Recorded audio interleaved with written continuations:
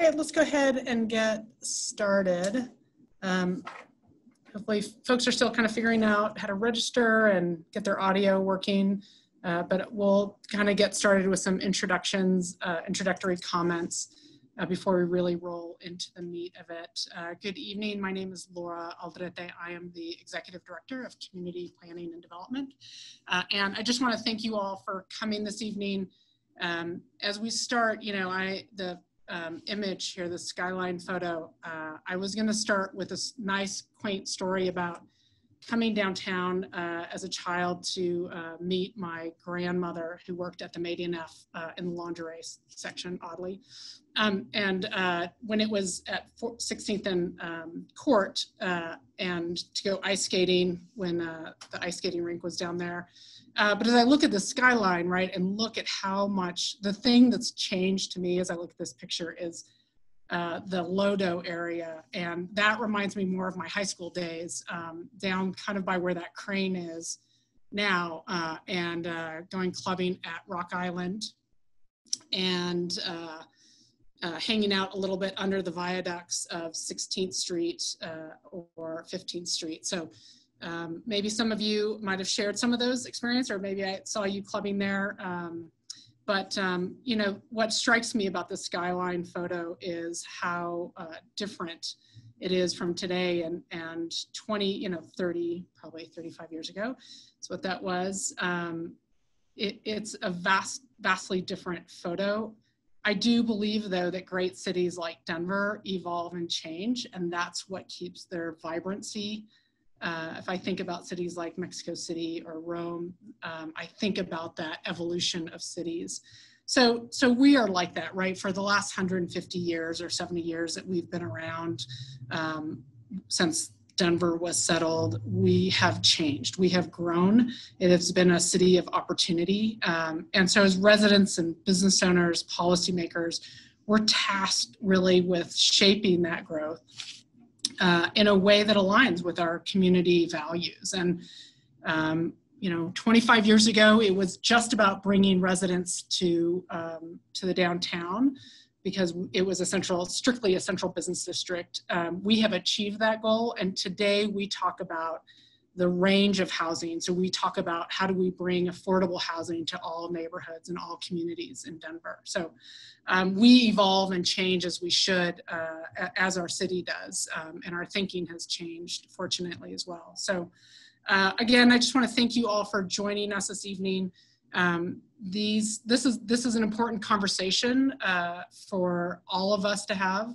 Um, I'm excited that we've got a really broad uh, audience this evening to engage in the topics tonight. Um, and um, we can, uh, just moving to the next slide. Thanks all. Let me just run through the topics for tonight. Um, you're gonna hear about two topics that are uh, extremely important to me, uh, as well as the city and to community planning and development. And those are climate action and equitable development. So uh, just a couple comments on that. You know, we're, we are really uh, a leader in sustainability. We're the only city in North America to be re recognized by National Geographic as a su sustainable destination in 2021. Um, and we're also only one of 88 cities uh, that worldwide to be recognized for continuing to lead on environmental action despite the pressures of, of uh, responding to COVID-19. So those are remarkable um, notations that globally Denver has received, and I think pushing that on, continuing to push that envelope is incredibly important to us. Um, and we're also, though, focused on achieving more equitable development outcomes for communities. And I strongly believe that these are not, these are, um, can be mutually inclusive uh, these two elements. We're at a point in our history where policies that advance equity, inclusivity, and health are so important. Uh, and CPD is really working towards these goals uh, in all of our work, from neighborhood planning to, to the review and permitting of uh, large developments, which we'll also hear about. This evening. Um, and while we won't touch on it uh, this evening, uh, I would be remiss if I don't point out uh, that great design matters. Uh, and this is a topic that you can expect to hear much more from, from CPD in particular, uh, over the coming year uh, as another focus point. So to start tonight off, we'll have a brief presentation by Scott Prisco, who's our amazing building official for the city of Denver. And he'll discuss some of the recent changes in the world of development permitting. Uh, and then we'll also come back to a panel conversation tonight to discuss progress on uh, climate action, as well as equitable development impacts towards development and construction. And then we'll open it up uh, for some Q&A. So how do you participate? Um, so one of the most important things is for us to listen and really hear from our customers and our community. Uh, so there's a couple uh, venues is you can ask questions in the chat at any time. Uh, there are a number of city staff uh, from a variety of departments, including forestry, Department of Transportation and Infrastructure, uh, Denver Water and Xcel have joined us as well. Uh, to um, be, who will be looking for those questions and to be able to answer them in real time. If we don't respond, we will, there will be follow-up um, as well. So, and then if you'd like to answer or ask a question live to any of our panelists, just use the Q&A box uh, at the bottom of your screen to submit a question. This will put you in the queue, and then when it's your turn, we'll um, ask you to unmute yourself uh, to ask your question. So from here, I'll turn it over to Scott to talk about um, development uh, and permitting. Thank you very much, Laura. Um, really excited to be uh, here tonight. I, have been I've been in this position a little bit over five years now in Denver, and um, we've we've had this uh, since I've been here, and uh, I I can unequivocally say this is our best attended uh, uh, event. Have, having um, all of you here tonight, we we greatly appreciate it. I want to thank Amanda Weston, who's done an amazing job in putting this together. Great work, Amanda, and I uh, the development community that's here with us tonight, you know, a big thank you and kudos to you. I know this has uh, been deemed an essential uh, uh, industry in this pandemic, and, and you guys are, are doing a great job. I know we have had unprecedented logs uh, this year over last year, and our plan review team is doing great. I want to thank them, and I want to thank our, our inspection team for going out there day in and day out, helping you get through your projects. So it's, it's been a team effort, and I just wanted to thank all of you in the audience today, both uh, uh, CPD employees and, and, and all city and county employees and the development community. So thank you for participating in this event today. Uh, as you know, uh, we, we've really ramped up our e-permitting, uh, especially uh, with the pandemic. So everything you do now, just about everything is, is through our electronic format. and um, we've really worked hard to make it more interactive. Uh, so whether you're doing plan review or you're getting a permit or you're, you're looking uh, to schedule an inspection or see what time that inspection is, that's all available through our denvergov.org backslash e-permits portal. And so everything could be found there. We have some great video tutorials and some FAQs and, and there's step-by-step -step tutorials if you haven't used our system before again, whether you're pulling a permit or you want to add a contractor to a permit or pay for a permit, there are tutorials and it, it's easy. It's really easy step by step. I'd recommend it. Um, with these presentations, we usually like to point out uh, where contractors uh, or developers are making mistakes through our system, and we want to make sure that we get that out there so it's a better process for you. Um, one of the biggest ones we're finding uh, are the subcontractors are pulling uh, both a quick permit and then getting told, hey, that's the wrong permit, and then having to pull another permit. Uh, as you know, if, if you're the G, a GC out there, I know we have a lot of GCs uh, on this presentation. Um, you usually get that email that looks somewhat like this screen where it says, hey, your ComCon 2934 is ready to go. Uh, you can pay for that now. And then it, it lists your, your other trade permits. Uh, you have the option to either add them uh, to that permit and pay for it. So you can add your contractor to that and pull the right permit for that trade because we're giving you the permit number there. Or you can just forward that email that you've received to your subcontractor. But it really is helpful if you could pull the correct permit uh, for that. And if you have any questions, you can always go to plan review at denvergov.org and they will get back to you hopefully within 24 hours. That's our goal uh, uh, for that. And, and we do think um, Uh, this will help you if you pull the right permit, because I know when you go to get your TCO and CO and it's really stressful, if you have open permits, you got to close them. And you wouldn't have been calling permits against the one that you opened incorrectly. So we strongly recommend that you, you go through this process correctly. Um, we're always trying to improve. Continual improvement is really uh, first and foremost on all of our minds. Uh, some of the big things that we're moving forward this year on are commercial uh, uh, permits, both quick permits and some of our other permits that aren't there quite yet. They'll all be moving towards uh, a digital format. We're really excited about that. We have some other permits that will go online uh, digitally. Um, one of the biggest things that we've been working on, it's, it's taken most of this year for this initiative because it involves just about every agency that you touch with a permit, is, is transferring that, that card that we've all used for, for the past 25 years, that same uh, yellow card that we have to get the red box signatures to get your CO, TCO uh, at the end of the day, we're moving that to, to a digital format so that you don't have to bring, physically bring that, that card uh, to your inspector to get signed. They will sign it digitally. Uh, we're hopeful that we are uh, weeks away from unrolling this. We're really excited about it. It's a huge customer win for us. Uh, and so we're really optimistic about that. And we're, we're unrolling some new, new, uh, a new look to our permits coming up in the first quarter, hopefully, uh, where um, it will really help uh, the GCs and the superintendents for each trade really understand the criteria.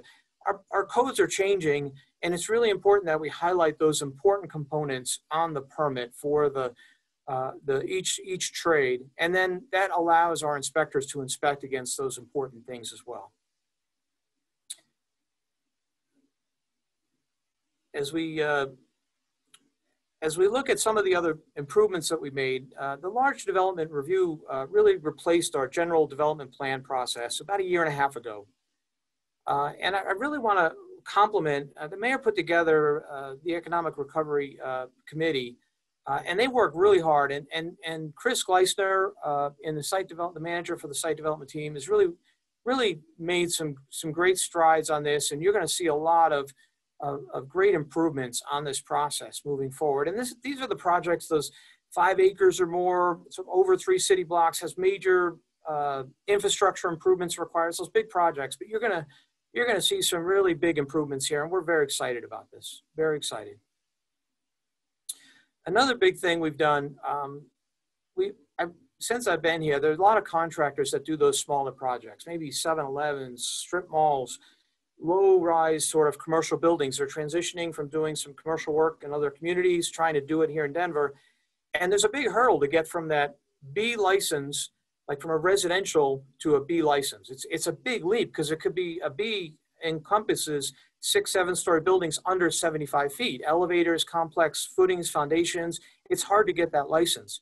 And you might only be out there looking to try and get uh, a license for those smaller, maybe one or two story commercial buildings.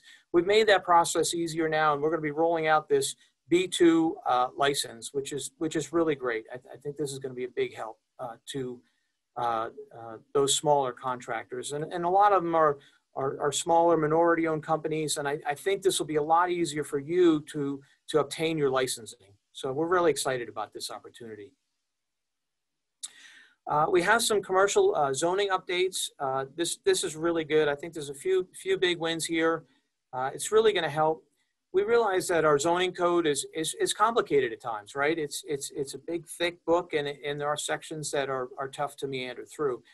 So we're going to have an opportunity for you to meet with our team ahead of submittal, and uh, it will be uh, hopefully we're, we're shooting for like a three day window. So if you shoot an email over and say, hey, I want a pre-application meeting, we're looking at maybe a three day window uh, to get that virtual meeting uh, uh, uh, planned out so that you can make sure that your submittal will happen in the right in the right format and in the right manner. Uh, another big win is we're trying to pull out some of those quicker, faster projects, and instead of bundling everything into a two or three week week review period, if we can if we can pull some of those quick reviews out as a three day review, I think that's gonna that's gonna actually help some of our other projects get done quicker and facilitate for these simple things a much faster uh, process for you. So we're we're thinking this will be a big customer win as well. Uh, we have some great opportunities for uh, for training. Uh, we realize we're making uh, a lot of changes uh, in short periods of time to, to help everybody out. And uh, as you saw with the green building ordinance, we had some great training there. I know Tina Axelrad had some great zoning training that we had filmed. Uh, and, and we're, there, there's opportunities uh, for this training um, coming up. I know the landmark team is really good at this. Every year they have these trainings. And if you're even thinking about doing a landmark project, or, or the project you're working on currently is about to start, these are really some great trainings that, that I would recommend. It talks about the designation process. A lot of times there are issues with window replacements and, and, and things like that. Uh, the tax credits are always complicated. I, would highly recommend if you're even thinking about a, a landmark preservation project to, to take a look at this uh, uh, webinar series. It's, it will definitely be time well spent. With our IECC projects, the, the new code is it's really getting complicated. I think everyone realizes. And as we pro progress through our code adoption processes, the IECC is going to be the most complicated moving forward. And to make this easier, uh, in de on December 1st, we launched sort of a new checklist to help help folks uh, um, meander through that, both on commercial and residential projects. we have a training for these. And then in January, we're going to make that, that checklist a mandatory submittal with larger projects, commercial projects, tenant fit up projects over 10,000 square feet, single family and duplex projects. And I know this sounds like we're from the government and we're, we're here to help kind of thing, right? You're going to, you're going to do this, but we really are. We think this is going to be a big win for the architects and engineers because it's not only going to help your team, your design team, facilitate our, our process and, and the complexity of the code, but it's actually going to facilitate a quicker review with hopefully, hopefully less cycles. So you'll get through our process much quicker. So we think this is going to be a big win for, for both us and for the, the development community. Uh, one of the exciting things that happened in our last uh, uh, uh code cycle was the uh, uh, development of the Denver Green Code. There goes the lights. We didn't we didn't pay the electric bill again. Um, sorry, it's six o'clock. They they they shut out to remind us to leave. Um, so uh, thank you for that little interruption. So we have some great work that our our communications team, Laura Swartz and her team, is is uh, uh, getting through a new look That'll be more intuitive for our website. We're very excited about that. And I'd recommend, we have over 2,500 folks already signed up for newsletters and other notices. Here are some links that you can get to for those notices, uh, information uh, to, to, to keep well informed on when we make changes and policy updates. So I highly recommend uh, looking at those. Um, again, the, the Denver Green Code is, is something we're very excited about. Uh, we do have another code adoption process coming up in 2021. It will start soon. We're going to want public input at the beginning of the year on some of the more complicated uh, energy code pieces. So if you're interested in getting involved, please contact us. We have we have availability on on both the code seats, that uh, the voting seats, and uh, we're looking for input on the green code and energy code uh, uh, actual actual submittals for suggested uh, amendments moving forward. So if you want to take an active role in that, there are opportunities uh, both to be on the, the code uh, uh groups that are the voting uh, committees and also on uh, creating some, some new code amendments. Now we're, we're doing some really great things. In, in 2018 in Denver, you know, the mayor initiated the 80 by 50 plan, which essentially you're, we're, we're, we're committing to, uh, you know, an 80% reduction by 2050 uh, using 2005 as a, as a, as a base, uh, uh a benchmark uh, year. And then uh, also shooting for the 2035 goal of net zero energy new buildings. And I, I will say that the climate action team, uh, the, the public process, in 2020 is actually wanting to advance this to like an 80 by 40 plan where you have 100% reduction by 2040 and instead of 2035 for the net zero go to 2030 so and this is this is community driven it's really exciting to see. This is just just fantastic to see and be part of a process uh, that is so progressive uh, we are one of the cutting edge cities in the united states at this point in terms of climate action and it's exciting to be part of that uh, our Denver Green Code is, is helping facilitate that. And it, right now, our current version of this, it's voluntary. It's, it's completely optional. Uh, um, we have a pilot program that I'll go over in a moment. Uh, and, and this includes sort of a, if you're familiar with the USGBC, the LEED, it's more of a holistic approach. We're looking at uh, reusable, recycled content, uh, uh, water quality management on the site, uh, low use water fixtures, uh, uh, energy efficiency, management plans after the building's occupied. So there's, there's, there's a lot of similarity in terms of if, if, if you've done a LEED project, it follows a lot of that format. we have a couple options to get through this. One, you can follow our green code, which chapter by chapter sort of goes through water uh, uh, you know, water conservation and energy conservation and all the different chapters. That's one way. Or you could just, if you're going to be LEED platinum, you could just show us your LEED platinum worksheet. And at the end of the day, you're, you're when we're going through the inspection process, uh, your commissioning report and how you're, you're managing the LEED uh, and where you are with that. Another option is just be net zero energy. And the net zero energy, our definition is all electric, no gas allowed in the net zero. And in terms of the fourth option, it's a little bit more complicated, but some folks are familiar with the passive house uh, form of construction. If you follow that path, you, you don't have to do the energy chapters, but you have to do everything else. Uh, so those are the, the, ways to do it. If you if you're looking for the very easiest way to do it, more complicated in terms of learning a new code, but the easiest path forward, that would be to just follow the Denver Green Code chapter by chapter. And so the pilot program, what we did was we initiated, uh, there's two parts of this. There's five projects that are affordable housing projects and HOST has already identified those five projects. We're already working towards those. They're in their concept plan.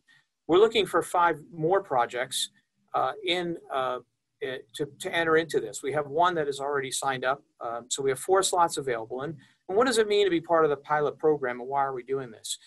So the, the pilot program is about expediting your process, both in the site development plan process and in the and in the permitting process. Permitting is a little bit easier. We'll just, if it's a four-week initial review and a two-week resubmittal, we'll cut that in half to two weeks and one week.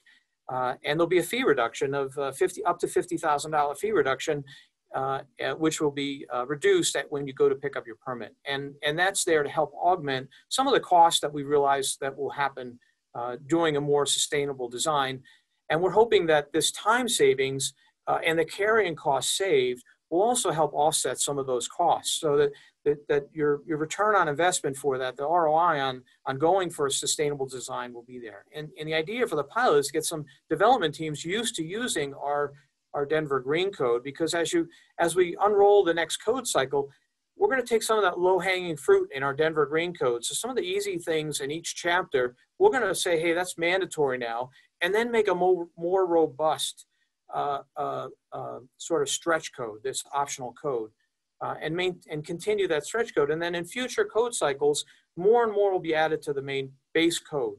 And it's at some point, the Denver Green Code, maybe sooner than later, will all become base code. And, and that's what we're really excited about this.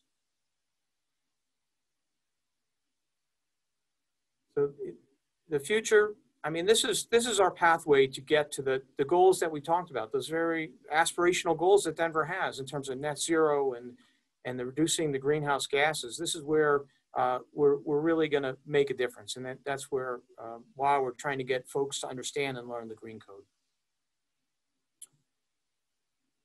So now we're at the point uh, where we're gonna we're gonna uh, start our, our panelists, and I'd, I'd really like to introduce our panelists. We have some of the top leaders here with us today uh, in the leadership team uh, within the city and county of Denver. And Laura Aldrete's been here for a little bit over a year in the in the community planning and development team. She's picked up the ball and ran with it, and just just I mean without missing a beat, just been phenomenal.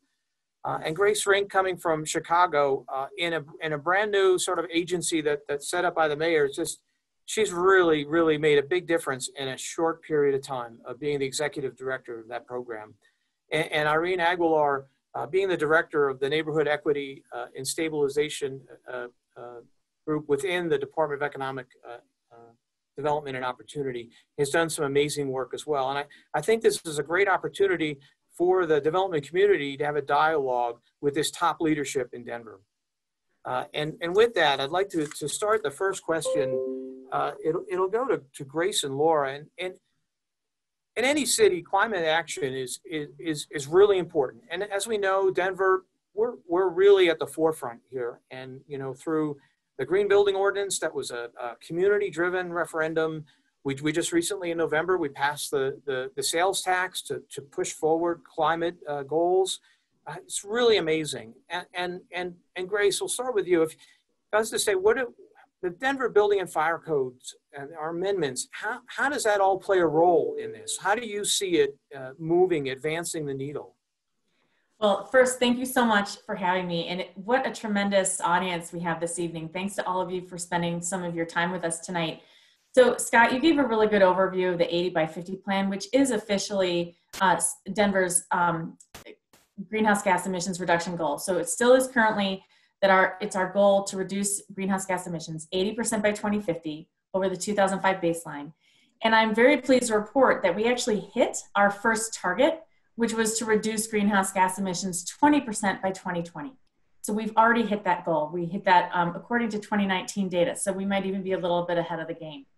Now, Laura's the your uh, shop. You're the code expert, so I'm not going to speak directly to the code, um, but I'll so I'll focus our response on how our office is engaged you know, the goal, that 80 by 50 goal, and then the other goal that you referenced, which was by the Climate Action Task Force, which was a group of uh, residents and, and representatives of different institutions here in town. Um, they have recommended a more aggressive goal, which would be to reduce uh, emissions by 100% by 2040. Neither of these goals, whether we achieve, whether we adopt the more aggressive goal or stay with the goal we have, neither of these can be achieved without uh, dramatically reducing or frankly, eventually eliminating the emissions generated by our buildings and homes. And so our office, very small, it's called the Office of Climate Action, Sustainability, and Resiliency. Right now we're a team of 12. And probably in the next year, we hope to grow to 20, thanks to um, those of you who voted for the 2A ballot initiative, which created the Climate Protection Fund. Um, so we will be able to grow in capacity. Uh, but still, we are the policy, we may be policy experts, but we're not the boots on the ground, right? Community planning and development, they're the boots on the ground. Your shop writes the code and enforces the code. You're the ones who are in direct communication with the development community. But I'm pleased to report to everybody here that we are partnering together really closely now that we're an existing office. We actually just um, became an office in July of this year.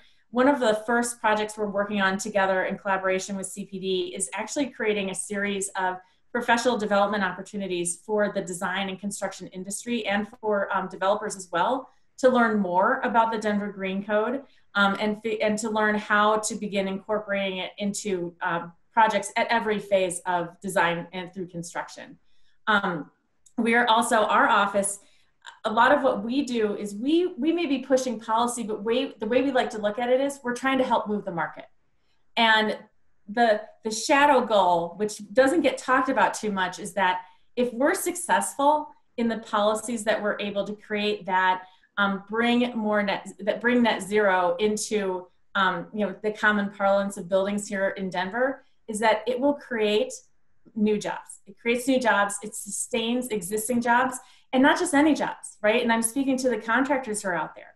Um, these are good paying trades jobs that don't get outsourced right, that only continue to be in high demand. And we're really excited about that. So while we obviously, our office has the very obvious um, goal of reducing emissions and, you know, and advancing smart design, there's this other goal that I think is a citywide goal, and that is really sustaining the employment market um, within our building and trades industry. So I probably would leave it there so that we can get to Laura to talk some more specifically about the code. But I think the important thing to know is that our two offices really work in partnership together. Um, we would never want to come out with a policy that the planning office says is simply not possible and isn't isn't forwarding isn't advancing Denver's goals. And we think that by working in partnership together, we can achieve it. That sounds that sounds great. Yeah, we, we don't want to make unrealistic things that uh, right. We don't want to put codes that that really wouldn't work. So I agree with that. Um, yeah, and yeah, so, and I just would echo that as well. Uh, it's been delightful having Grace come onto the team and really build her, you know, uh, build the team, but also build the relationship uh, across, you know, all the various work groups within CPD. So, uh, just uh, again, another warm Denver welcome to you, Grace. Although I feel like you're you're kind of local now at this point. Uh, so, so just to touch a little bit on the Denver Green Code and our energy codes, you know, we have, we're on um, one of the first US cities to begin implementing a green construction code and our energy codes are among the top in the nation as well. So we should um, hold our head up high on that. And also, um, it also sets a bar, a high bar for us to continue down that path, uh, in particular on Denver Green Code. Right, right now, it's a, a, voluntary code we implemented for the first time this year. And as Scott talked earlier about the um, pilot program uh, and gave a great overview of, the, uh, of that code specifically uh, a little bit earlier. Uh, but I also want to emphasize is how we're using um, this time now to really test out the provisions of the code, uh, both for the applicant as well as for us to understand what works and what doesn't, where we need to refine. So Part of this will be to identify those pieces in the Denver Green Code um, to become part of our base, the mandatory code with each code cycle moving forward. Uh, so it's an iterative process. Uh, it's not revolutionary. It's taking it in pieces and um, understanding what pieces to move forward through the conversations uh, and the testing that we do with the construction and development industry. Uh, we're working towards uh, drastic reductions in greenhouse gas, um, gas emissions across our city. And so you can expect to see our codes to continue to evolve to accomplish those goals, in particular as it relates to the Denver Green Code. Now, um, specific to the energy code, you know, I would say that we're continually strengthening our energy codes to stay at that forefront of energy con conservation nationally as I mentioned earlier, and um, to achieve the targets for net zero energy and greenhouse gas emissions. Uh, we adopted the 2018 International Energy Conservation Code last year, and next year we'll start working towards adopting um, the 2021 Energy Code. So we we uh, are firm believers in in staying current um, and continuing to push the um, push the bar on achieving those energy code um, standards.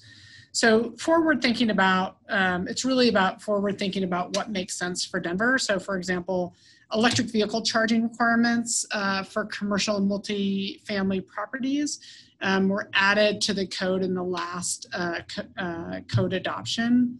Uh, so, um, but again, just to reiterate, this is really a partnership uh, with you all and continuing to reach out and have those conversations about getting your thoughts and feedback on the 2021 code and the proposed local uh, amendments. So look forward to um, hearing from us. And if you don't hear from us, you know, reach out to us to get engaged.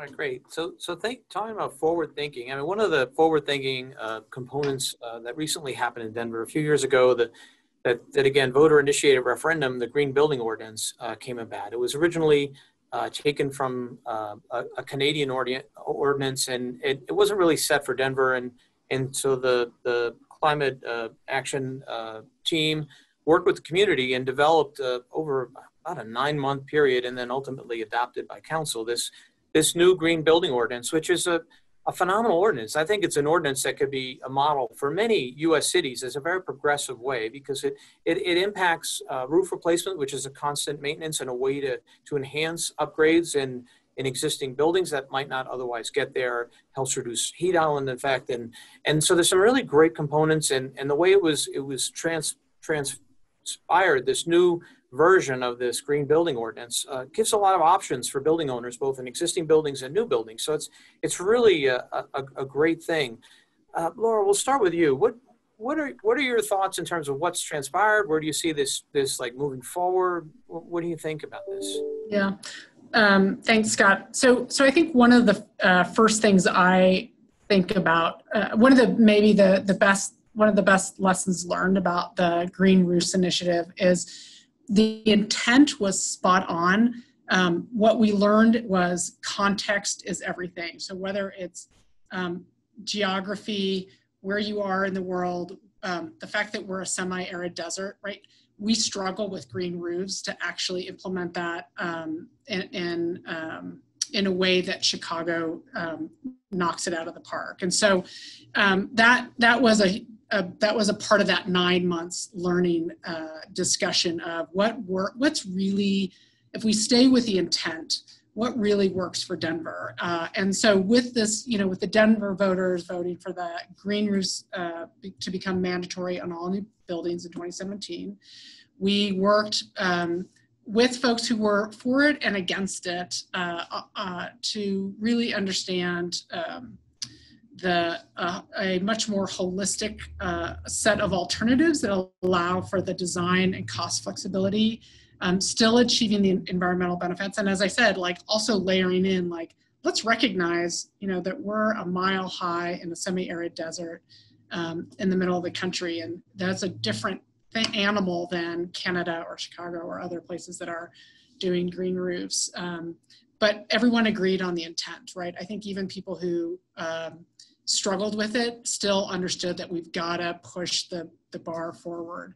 Uh, so in the end, you know, the end result was it, what has now called the Green Building Ordinance, uh, which lets projects pick some pick among a, a number of options like installing um, installing solar panels, adding green space on the ground plane or on the roof, um, achieving LEED certification. There's several other choices as well. So, you know, last spring we um, completed an annual review of the program's first year. And I'll say in general, I think just it, one of the um, things that the city of Denver has taken on, and in particular, I would say um, community planning and development is we integrate metrics and making sure we're measuring. So when we set our goals on our policies, we are much better about integrating metrics and saying, let's let's test ourselves and see how we're doing. And so we can course correct along the way.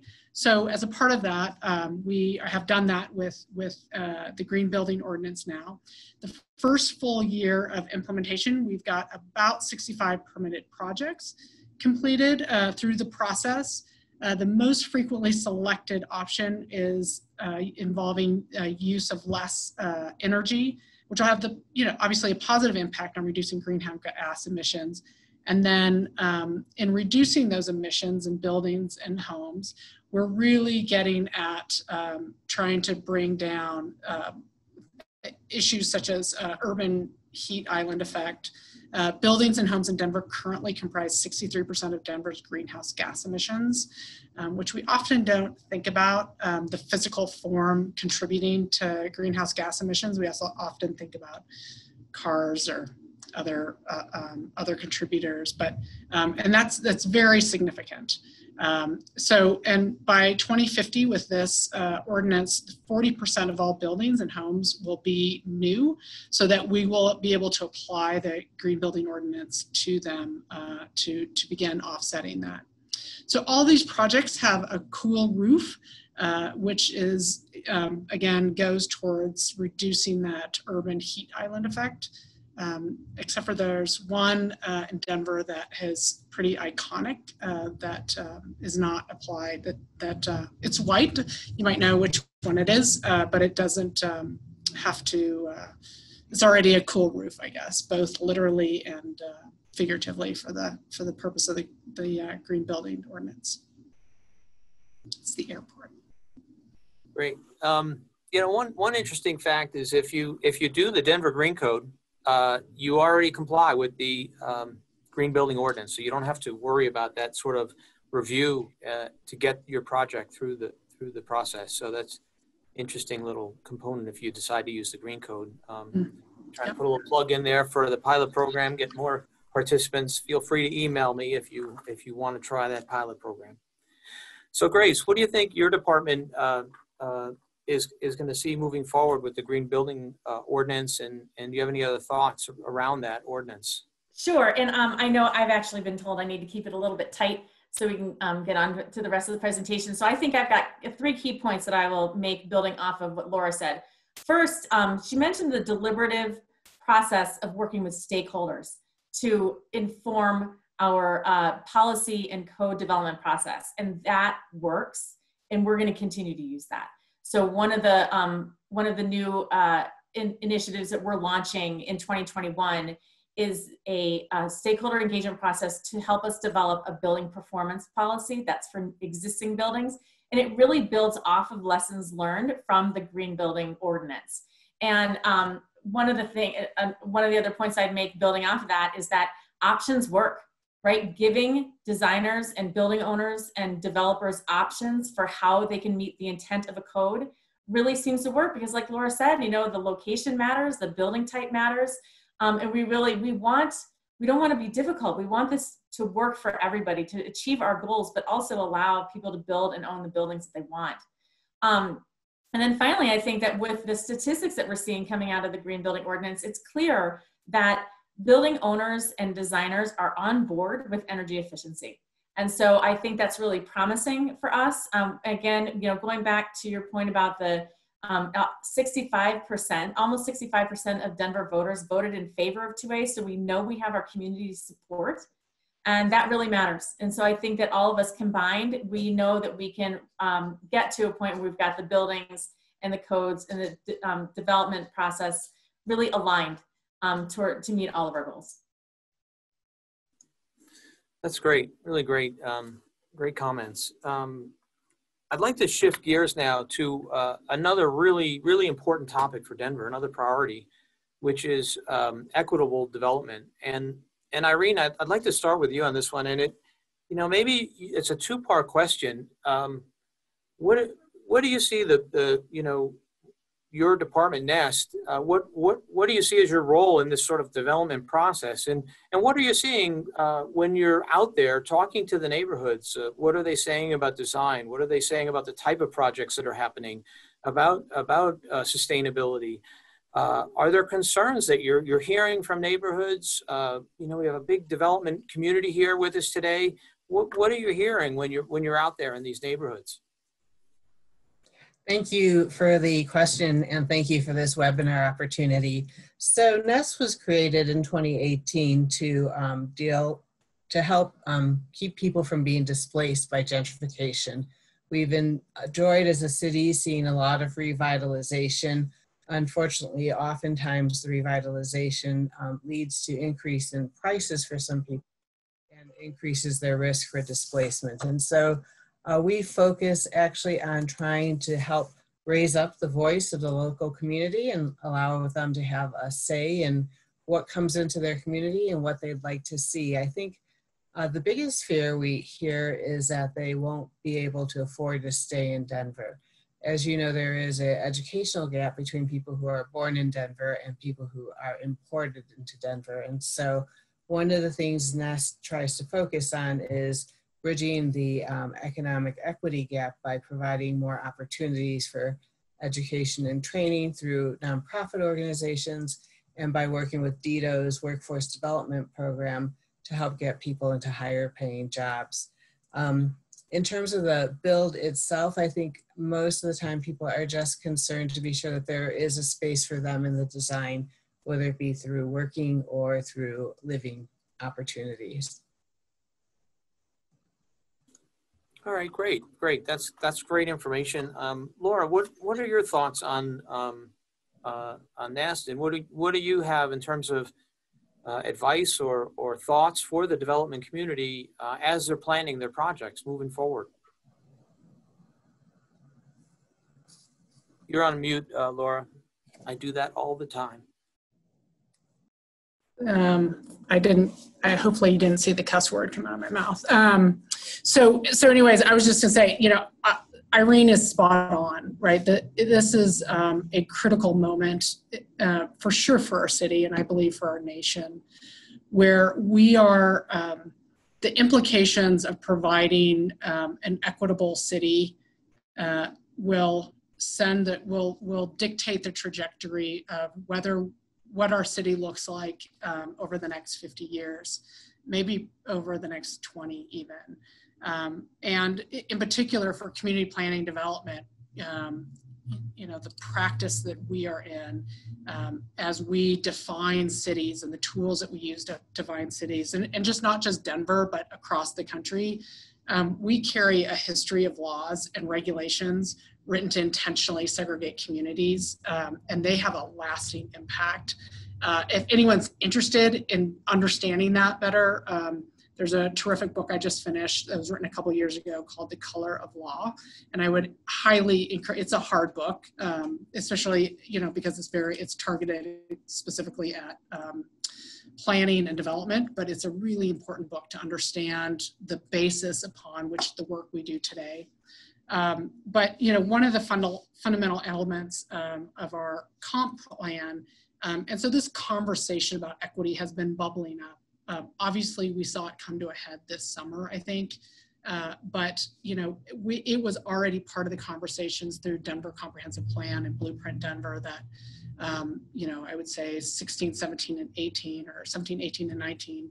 Uh, we worked with the community to develop, passed in 2019. Um, we, one of those fundamental elements is to be an inclusive city. Uh, in addition, um, land use and transportation plan, which is Blueprint Denver, um, that was also adopted at the same time, um, is the first citywide land use plan in Denver to account for socioeconomic factors. And in fact, in that plan and in Comp Plan Denver uh, 2040, we, we, you know, going back to the metrics thing um, point earlier, we are measuring ourselves every year to see what are, you know, what are our impacts on displacement and are we working, is the work that we're doing as a city and as uh, community planning development, is, are, is it measuring, is it mattering, is it affecting communities that are typically, you know, historically underserved. Um, so uh, we, we, this is a real issue that um, if it doesn't touch you, uh, if you don't think it touches you, it probably touches you um, in ways that you haven't thought about, whether it's who provides your, helps provide your groceries or clean your house or, um, you know, drive your, the buses. Um, these are folks that um, are continuing to get pinched out of our city. And so um, we need to address that um, to, to, in order to have a complete city. So a couple things I would suggest uh, to, to get back to your question is, you know, you're not, not every project um, requires a community meeting, but um, to my point earlier about context, um, historical and cultural context uh, and neighborhood context is just as important as the geography of the place that we're in. And so understanding the place that you are coming into, the community that you are coming into, um, is incredibly important and will make a uh, major, can really impact the look and feel and design of your uh, of your project, um, as well as build bridges with what are the needs and um, you know desires of the community? And can those be incorporated into your design and really begin building a long-term relationship? Because those the people in those communities and our communities um, will be there for a long time and your project wants to be a part of that community. And i think they i think communities want those projects to be a part of their community and reflect their community. Um, so that that engagement means you've got to listen um, and and that's something we are always working on. I think we can all, you know everybody whether it's in our personal lives or in our professional lives listening uh, being better listeners uh, and um, understanding people from the meeting people where they are is really important. So i would encourage that as a part of that community engagement. Uh, and um, so I think, you know, I touched on this a little bit, but just thinking differently about the landscape um, that we're operating in. And I, I, don't mean the, the plants, I mean, um, it's kind of back to the point about cultural context and, and the history of neighborhoods uh, in particular. Um, so uh, just while other, um, just a little bit more detail on the work that impacts resident developments. Um, while you know state law prevents us from regulating how affordable housing how many affordable housing units um, and at what uh, area median incomes they're at uh, levels they're at that are sufficient for a project we do strongly um, offer guidance uh, that also you know that um, responds to the neighborhood needs. And so in Blueprint Denver, we have done analyses to understand what some of those needs are and identifying what neighborhoods are um, have been identified for vulnerability to displacement. So those can be really helpful so you can have a better understanding just from a data demographic standpoint. Uh, I want to uh, just also reemphasize, re-emphasize Irene's point about the current linkage fee is really not, um, hasn't hit the mark uh, to be enough to provide funding for creating and maintaining deed restricted housing, which is what we call affordable housing. Um, we have a project underway now to identify zoning tools that can help encourage more affordable and mixed income housing in areas near public transportation. So not just TOD stations or transit oriented development stations, but along corridors such as Colfax, Federal, um, you just think about those larger um, transit transportation corridors in our city. We're also going to be expanding um, this work next year to look at opportunities for encouraging more affordable housing citywide and evaluate how the linkage fee relates to this work. So um, just a couple other points as we um, have begun requiring an equity analysis for the large projects that need a rezoning. So um, this is the large development, um, uh, large development um, review, LDRs. Uh, and which, so it begins opening up that conversation between the city uh, and the developer, and then hopefully that translate into the community meetings with um, the community. Uh, and then we also use development agreements to achieve um, the voluntary affordable housing agreements um, that uh, you know the neighborhood or the excuse me the developer works uh, and presents to city council yeah that's that's great great insight and and thank you thank you all for uh, really uh, you know amazing uh, insight and, and, and, and, information on each of your, your topics. I, at this point, um, we are going to uh, uh, open it up to uh, uh, questions from from the audience. Uh, we're we're going to, uh, if you could, if you have a question and you'd like to to speak to that question, uh, we have the ability to uh, unmute you and and um, uh, let your your video work. And uh, and you put the question in the Q and A box and and I will call on you. And then our team will facilitate you you asking your question. If you don't feel comfortable asking the question that way, you can put it in the chat or the Q&A uh, and, and, we can ask the question. Uh, just let us know how you prefer uh, to do that. And we do have a, um, uh, someone who has started the, the questions here. We have a question from Rick Erickson. Um, you can go ahead and unmute and, and, and put your video active. Uh, you have a question regarding tenant improvement projects, I think. All right, Rick, we see you there. If um, our team will unmute you if you haven't already. Hopefully our technology works here seamlessly. I'm confident in our abilities with this Zoom meeting. I think you have to unmute it as well, uh, Rick.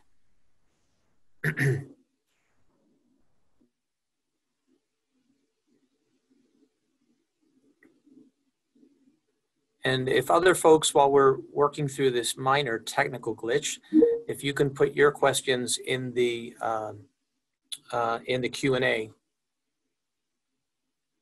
Yeah, so I'm getting feedback here that you'll need to unmute yourself uh, if you know how to do that. It's in the lower left section as you put your cursor over the lower left section of the screen. If you could just hit un, it's either mute or unmute. If you hit unmute, you'll be able to speak. All right. While we're waiting for Rick to figure that out, we are going to shift to um, a question from Ellie Swenson. Hopefully I didn't mispronounce your bad your name too badly.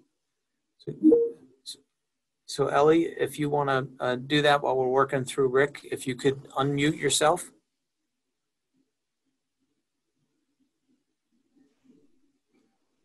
She's saying all good, so maybe she doesn't have a question anymore. All right. I see her unmuted at this point. I don't know if do you, do you want to ask a question? Yeah. Hi, can y'all hear me? We can. Yes, perfect. Perfect. I was just saying you pronounced my name perfectly, Scott, so you didn't have to worry about that.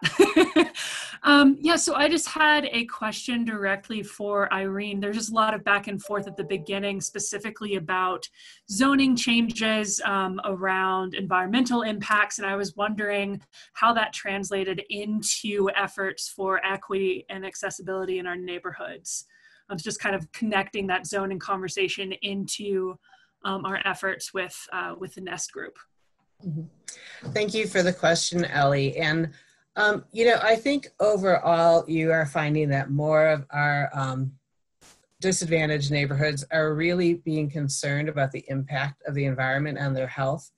Um, there have been more studies around, for example, asthma incidents and Black children and Hispanic children and hospitalizations. And so I think um, there's excitement about having their environment cleaned up. And in addition, a lot of um, the older homes that are less well kept up are less well insulated and can be harder to heat and to cool. And so um, I think it's something the community supports actually pretty well. I add on to that. Um, Ellie, one of the things, it's not necessarily a zoning piece, but it would be a regulatory piece, is I think about the urban heat island effect. And if you, we've done some GIS mapping, and the neighborhoods that are um, disadvantaged, underrepresented, tend to be those neighborhoods that are five, that ra- range like five to eight degrees warmer than other um, neighborhoods because there is not a tree lawn, there's not trees, there's less parks. Um, and it just kind of all, you know, there's more exposed. They tend to be, uh, some of them, especially on the west side, have are, you know, from the 50s. So you've got really wide side streets, really narrow sidewalks, no tree lawns, so no trees. Um, and so I think that's one thing that we, I am interested in looking at, uh, it, you know, in the next, in the coming couple years to add to my list, but um, that it really matters. And if, if we can think about regulatory, just within our regulations about uh, requiring trees and tree lawns, that could that could go a long ways, right? That's great insight, Laura. Thank you uh, for that. I, I'm a true believer in that to help reduce uh, the heat island uh, impact, and it, it's it's so immediate uh, and so effective. Uh, our next question, uh, John Nicar- Nic-. Hopefully, I, I didn't didn't kill that one either. Um, John, if you want to unmute yourself, and you're welcome to put your video on. Just hit the uh, unmute button at the uh, lower left uh, section.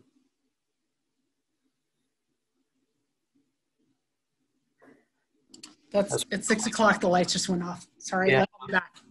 Oh, there we go. I Had the same problem. Yeah, it's time to get home. Yeah, all right. uh, all right. Are we having uh, technical issues with uh, John unmuting? Is there a way that we can do it on our end? I think he, he may have two questions for the group.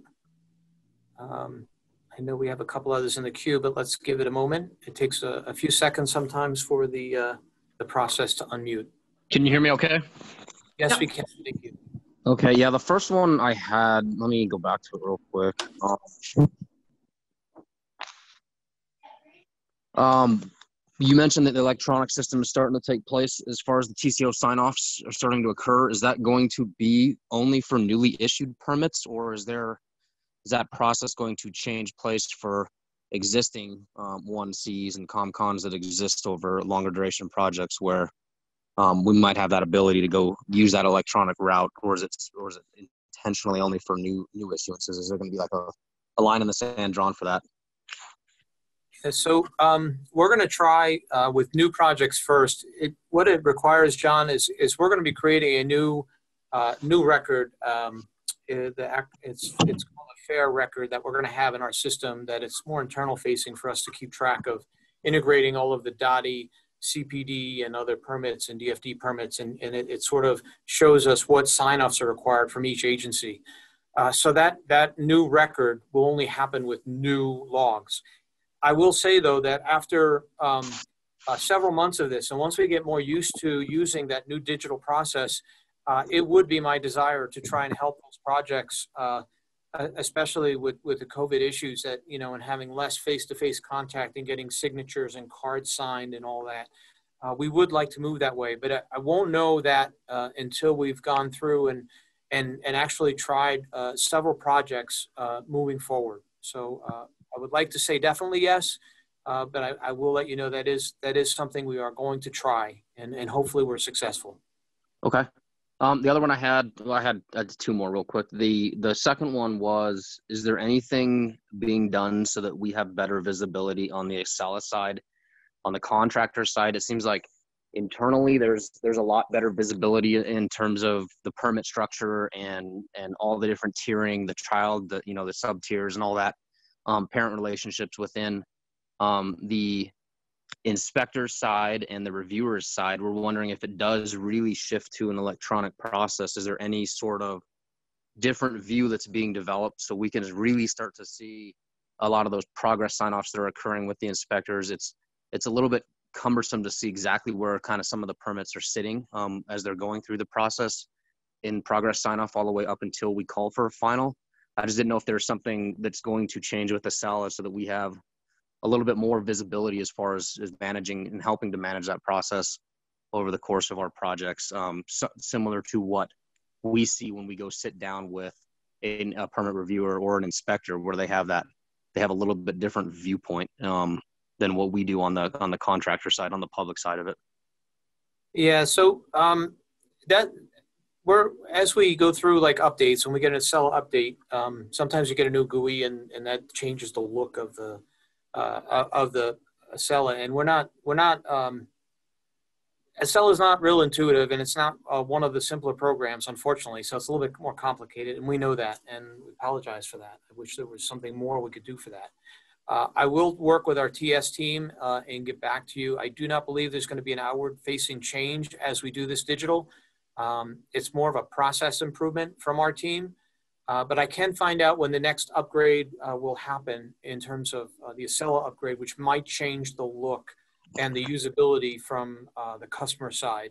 So I will get back to you on that, uh, John, and and and I think uh, Laura and Amanda could push that out in our next newsletter, and so that that we can keep folks up to date on that. We we realize that Accela is not the most user friendly, intuitive system, and and um, we apologize for that. No, yeah, no worries. We were just wondering if it does really switch to electronic, if there's anything you know to be done. But thanks, Scott, for that.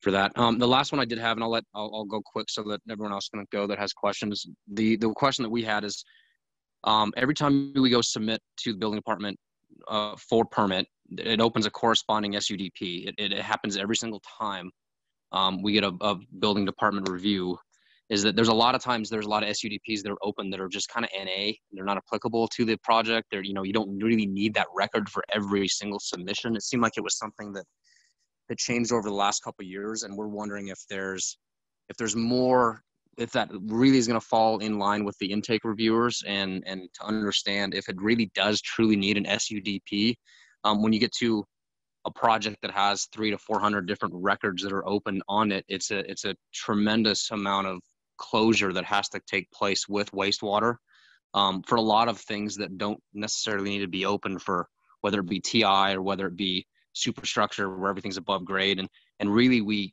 we go try to close all those um, with wastewater across the duration of the job as much as we possibly can but ultimately some of those SUDPs they result in only a, you know a couple permits that we have to satisfy in the end but every time that a permit is submitted for review or a drawing set is submitted for review, um, it's opening up that corresponding SUDP. I know you guys are probably aware of that, but I just didn't know if there's anything that's going to change in terms of that process because it was it was probably one of the bigger um, tasks over the last couple months for us at McGregor Square in terms of getting all those records just completely cleaned up before before we really start to pursue final sign-offs.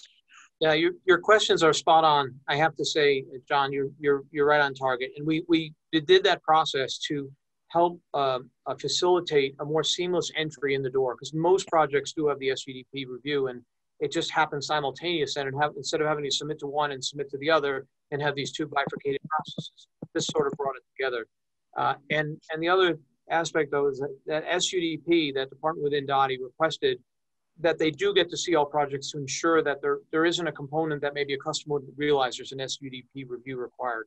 And, and that's why they've asked to, to see all projects.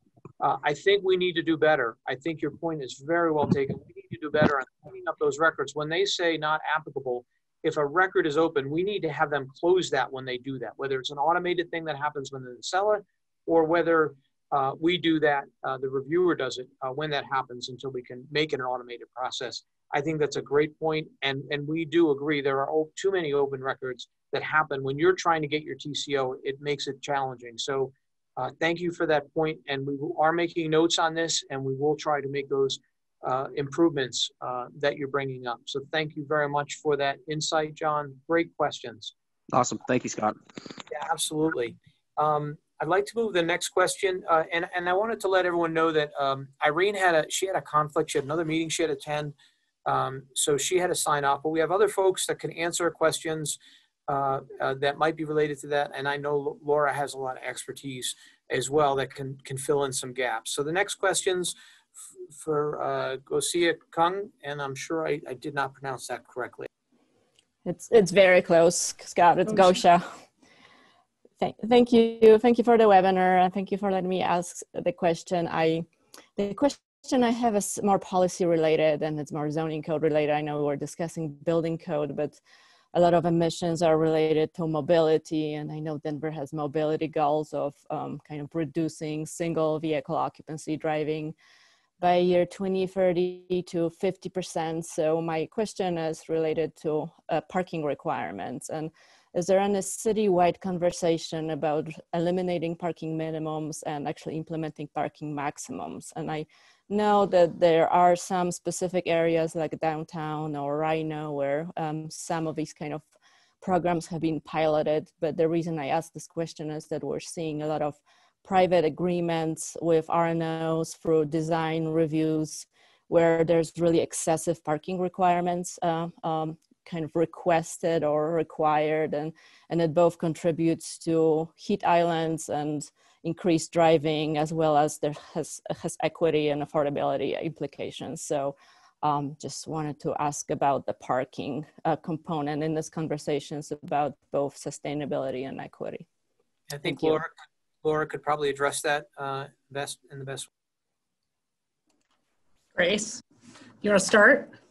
I was just going to start to say that I was on a panel last week about mobility and sustainable transportation, and I could talk all day about land use and transportation and development impacts and and all of that. So your question was really about you know kind of specific to the um, zoning portion of parking management, and so I'll let Laura address that one. But and I, I should preface by saying too that we you know this this webinar was about is really focused on buildings and in in terms of um, my portion of course on emissions and, and what we're doing about emissions from buildings so it's we don't mean to omit transportation from the from the conversation of the city's uh, greenhouse gas emissions inventory about six almost 65% of the emissions are from buildings but almost all the rest like 30 uh, 32% is from transportation so it's an important issue uh, we're definitely working on that in, you know, outside of the building sector. But Laura, why don't you go ahead and address it from the zoning perspective?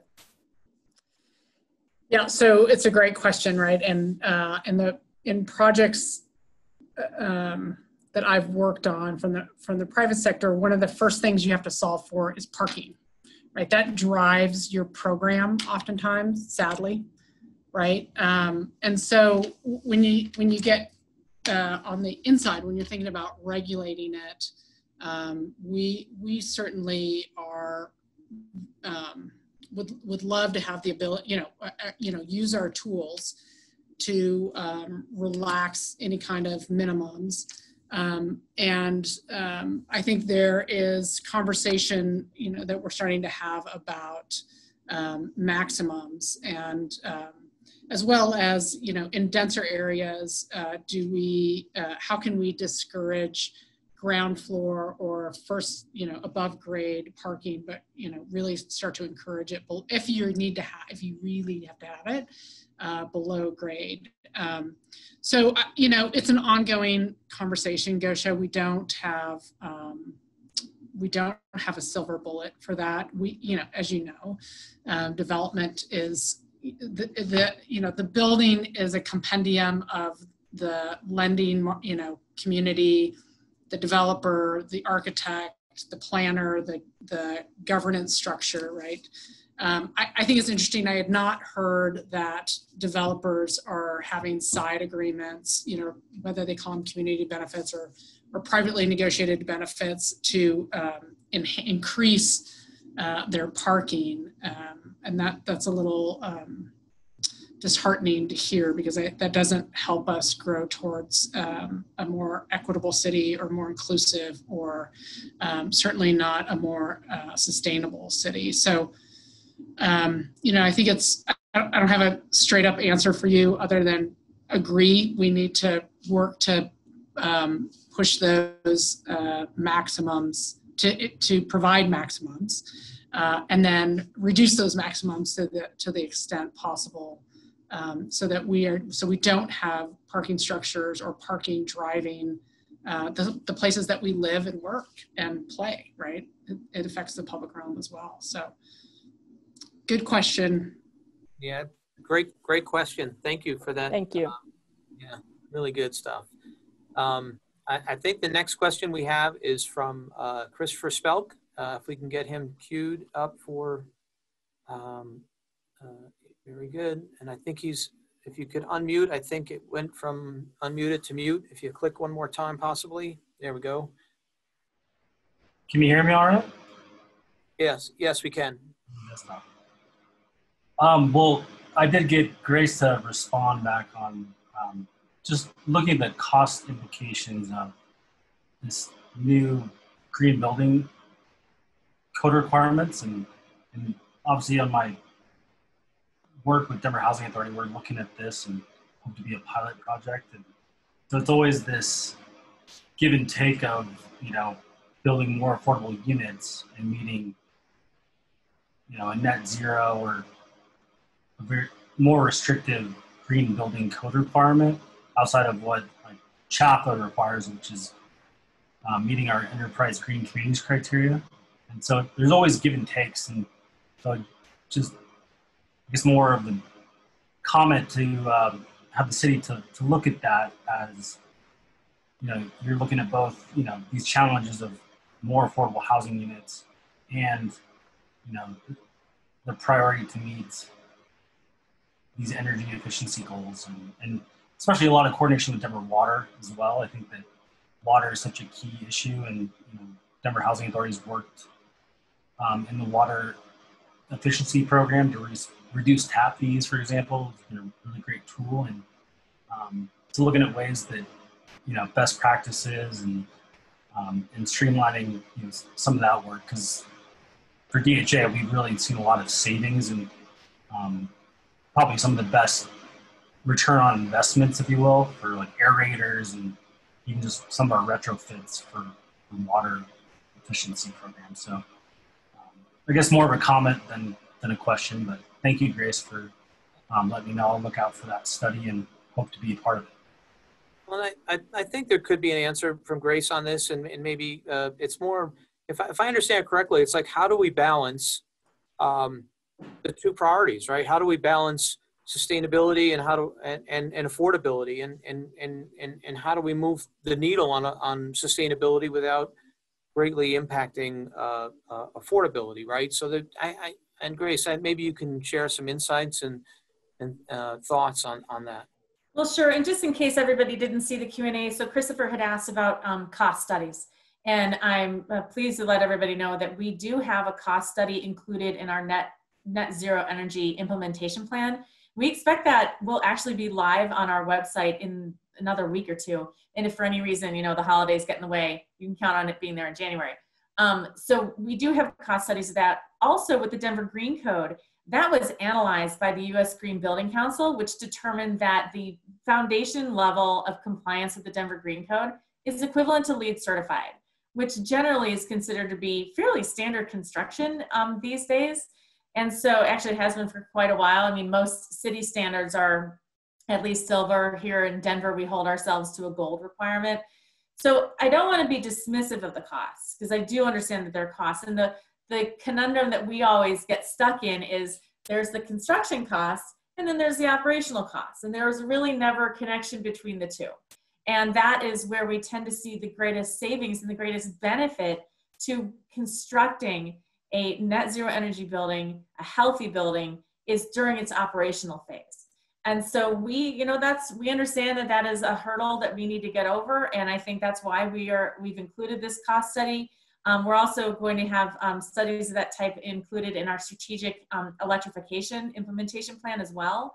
So we take that, that issue seriously and we want to be able to work with developers and builders on being able to answer that um, in their own plans and also for their clients.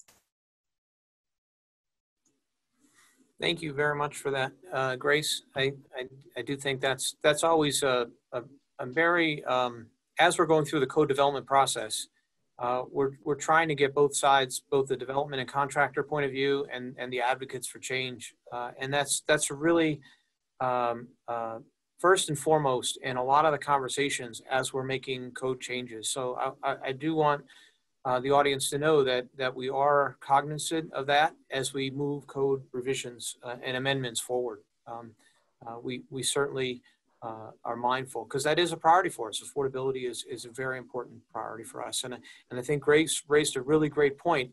Uh, I think sustainability and affordability can be can be together, and and the benefits happen when I mean you're doing net zero or very high energy efficient buildings, and now it's a, a affordable unit that that cost uh, for that person in that unit is much lower, and it's a that percentage of their of their their their uh, net income is it's a bigger proportion. It has a much bigger, deeper effect for that person in that unit. So I do think they're intertwined and they can work together.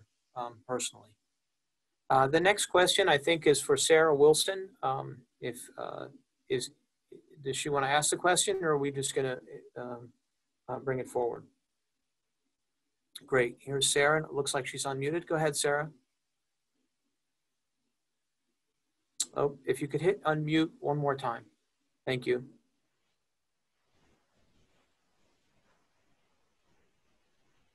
Uh, we're not we're not hearing you yet. Sarah, are you there? We'll give it a moment. Sometimes it takes a second. I'm not the most patient person, so this is hard for me. All right, it seems like we might be having some technical difficulty. I think the question um, that Sarah might have had was, uh, it, it, may have been part of the presentation. Are there uh, are there going to be different review times? I believe shorter review times for sign permits and some of the more low hanging fruit from a zoning review perspective. And we did uh, touch base on that a little bit in the presentation. Uh, we're looking at uh, sign permits, possibly fence, uh, other sort of uh, change of use. Uh, some of those simpler reviews in the zoning review process, we're looking at converting that in January to a three-day review. Uh, we're optimistic it will be early in January that we move that forward. so those are some improvements within the, the commercial zoning team and the, the, zoning administration team that we're, we're looking at rolling out in early January hopefully I answered your question, Sarah. Um, we can try this again if I missed it. Uh, and I'll move to the next uh, question. I think the next person is uh, Peter Hines. So Peter, if you could unmute yourself uh, on the lower left corner. Thank you. Go ahead. Uh, just want to quick say the e-permit portal is fantastic. I'm really liking getting to know that, and, and I'm glad you guys did that. Uh, you know, we we do a lot of repurposing of existing buildings, and what we find in trying to comply with uh, green codes and, and sort of the newer code work is, you know, we end up looking from the toilet backwards to the sewer pipe. So my question is, is as we get into the IECC and getting into repurposing of existing buildings, are there going to be incentives, whether they're in you know, soft cost dollars or grants um, outside of the permit reduction fee that you had talked about, Scott. Um, you know, are there going to be some other things available to us that are, are really looking at the existing stock that you have and how we can reuse that stock maybe change the use, maybe upgrade it, whatever it may be. Um, but are there any, is there anything on the table that we're looking at that we can start planning for? Uh, I'm going to open that up to uh, Grace if she has thoughts on. Um, I, I know with uh, uh, the new sales tax, there's some revenue. I don't know if there are any thoughts uh, towards incentives that you I'm, you've I'm sorry, I was in the Q and A. Can you repeat the question for me, Scott? Can you summarize? Certainly, sure. So I- think the question is, a a lot of the projects are adaptive reuse and they're existing buildings and trying to build uh, those projects to be more uh, sustainable and, and the codes are changing to be more robust for those projects. And I think the question was, uh, are there opportunities that you're looking at moving forward uh, for incentives possibly that, that again furthers that idea of a lot of times we look at uh, redeveloping existing buildings. That's a very sustainable approach. And is there, a, a, a, is there an incentive program that you're considering moving forward uh, to help incentivize, uh, you know, adaptive reuses, those kind of projects uh, for development teams? Yeah, excellent question. And I heard you bring up 2A. So um, yes, the voters approved 2A, which is the Climate Protection Fund. And our first order of business is to actually develop objective evaluation criteria that we can use to determine what types of projects can and should be funded um, with these dollars. And so I think that you can count on seeing incentive programs coming out from us in the building space. What I can't do is give you specifics right now. So it might sound surprising that the passage of 2A actually came up on us pretty fast. It was, you know, with this particular year and this particular economy, it just wasn't clear that it was going to pass or not clear enough that we should be spending, you know, a lot of time um, working on concrete plans. Um, but this actually gives me a great opportunity to note for everybody, hopefully you can see the chat. I put into there a link to our website. We are recruiting for the Sustainability Advisory Council. This is an existing uh, board and commission of the city and county of Denver, and we are going to be using it as our primary conduit for consistent ongoing communication with the people who we serve. And um, you, those of us who are familiar with our work, and like Scott mentioned earlier, with the um, with the task force process that helped to develop the green building ordinance, we do have task specific or subject specific task forces from time to time, but we're really looking for the Sustainability Advisory Council to be consistent and not necessarily task specific. And um, it's a great opportunity for people to get involved in our work and really help influence us as we work to develop, um, again, those objective uh, criteria for evaluating programs and just how, you know, the general steerage of that fund and making sure that we meet the six allowable uses that were in the ballot language and that we're also meeting the other requirement, which is that 50% of the fund needs to be spent on projects that directly impact frontline communities. And that's really important. And I've been told by more than one person that that's more of a floor than a ceiling. So um, these are really heavy criteria. We really need to find the right balance between projects that have deep environmental climate change impacts and those that really direct directly impact uh, people's lives and improve their everyday existence. So I invite you to, to consider joining us. And again, that link's in the chat. That sounds like a great opportunity for those folks that are that are interested in being actively involved. Um, thank you for that, and uh, it's a great uh, great problem to have that you were thrust into this uh, extra funding for your goals. Uh, we have uh, time for about one or two more questions. I think next up uh, may be David Weiss. We'll let a minute for David to. there he is. Okay, if you could unmute David on the lower left. Um, yes, thanks very much. My first question is pretty mundane, but um, we've just run into issues with getting a receipt for permit fees that we've paid. It would be so handy if the permit site would email a receipt once we pay a uh, permit fee. They're not. Pardon me. You want a receipt? That's a big. Well, sorry, you know, pile up on credit card records. There, there's no address or login number or project reference related to those fees. There's also no such collection point. And I mean, you could go to each individual project and scroll through what you did uh, over the previous weeks and try to track down what went where. it's just a question. Um, No, that's that's a very valid question. We should. and, and, and we're at, at a tiny scale. I can imagine some of these operations, you know, would be faced with a much more significant issue. And if you miss something like that, it's expensive to everyone involved. No, it's a, it's a great question. Um, don't make mean big light of it. We, it's something that I think we should have already been doing, and I'm surprised that it's not an automated, simple thing to do to just print a receipt for what you've paid for. And uh, we will get back hope. to you, David, on um, if it's there, and maybe uh, there's we're we're not making it as seamless as it could be to uh, to do that. So look out for an email, and uh, that will be an update in our next newsletter for sure. Wonderful. Wonderful. Thank you. And you said you had another question. Was there a second part to your question? Oh, I put in three very different questions.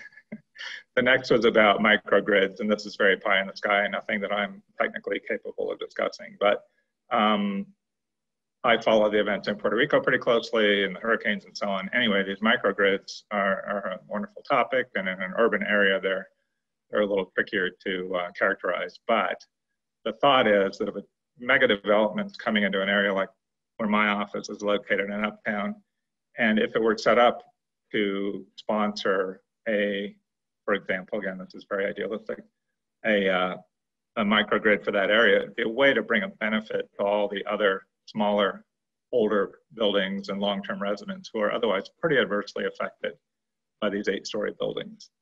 Um, just a thought, uh, we've looked at it on a small scale where a new building powers an existing historic building so they don't have to provide tear apart the walls and bring everything up to code. Uh, again, just planting a seed.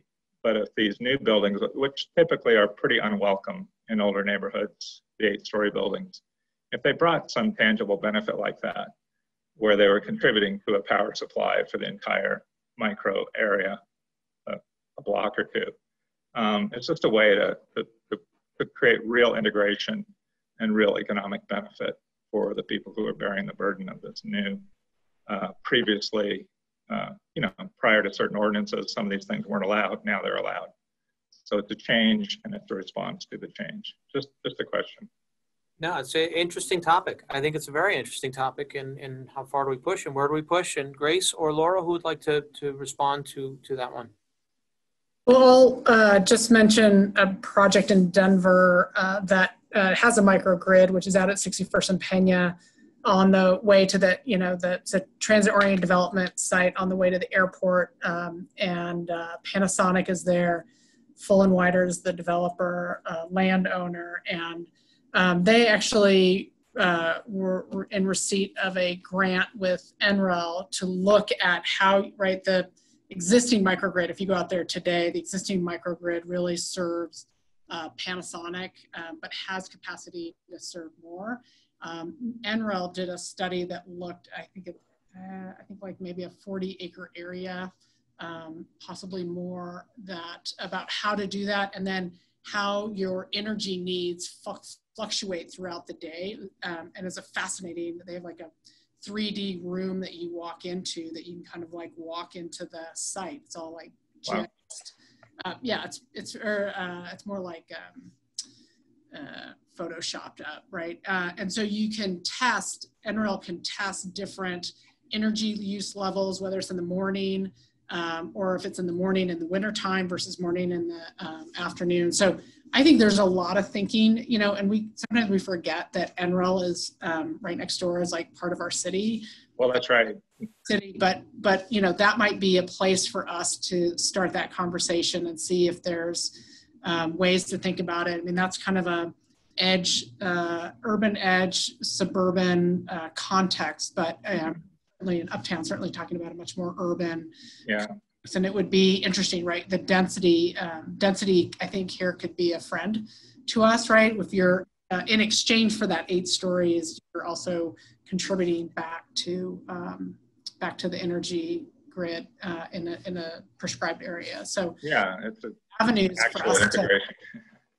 Sorry. It's an actual integration, Yeah. you know. Yeah. Not just an idea. Wonderful. So that's just All right. uh, story. You know, just I think there's people trying to do it um, here. Um, I think it's you know nothing's easy, but that's okay. Of That's, that's our job's fun, right? I, I was not familiar with that. I really appreciate the information. Sure. Great. Thank you very much for that, Laura. And, um, and Dave, for your questions. I think there were two parts to that question, so I'm going to say that that and was the last question because uh, I want to be respectful of everybody's time. I think we said we were going to go till 6:30 and it's 6:31. Uh, We do have some, uh, on the, uh, slide that just uh, has uh, some contact information if you want to reach out to, to us. you- You're welcome to do so. I, want to thank each and every one of you for participating in this event today. I, I know I, I thought it was a great format. Hopefully, uh, you can maybe give us a little response in the chat if you like the format, uh, this new format. If you felt it was a productive uh, presentation uh, and useful for you, uh, that would be great feedback for us to get. Um, so thank you again uh, for coming and participating with us today. Thank you, Laura and, and Grace and, um, and, and Irene for, for participating uh, in, in this open dialogue. It was fantastic. Thanks, everyone. Have a Yes, good night. thanks. Great conversation. Wish everybody a Merry Christmas and Happy Holidays. Be safe.